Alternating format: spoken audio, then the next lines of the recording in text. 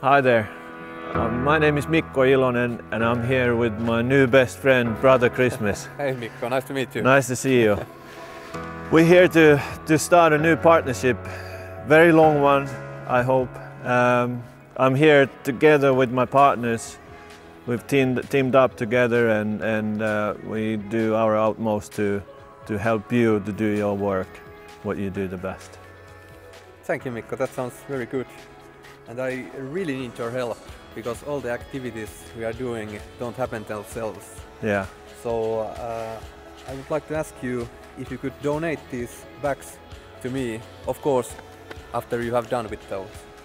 Well, that's the that's the smallest thing I can do for you. So definitely, I, I use them over the summer, and then uh, I'll give them straight back to you when they when I'm done with them.